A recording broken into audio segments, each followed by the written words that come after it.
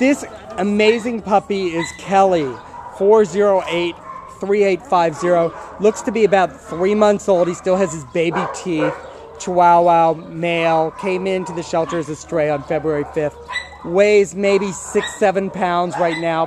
Probably going to grow up to be, what, 12, Carrie? Probably not even 12 pounds. And what makes him so special is, is that he's a Doxy mix, and he's a white Doxy mix with little tan polka dots all down his back. So it makes him sort of special um, among all the Chihuahuas that are here. So he's a sweetheart. And he's just got a great personality. Very, very calm for a puppy. Darling.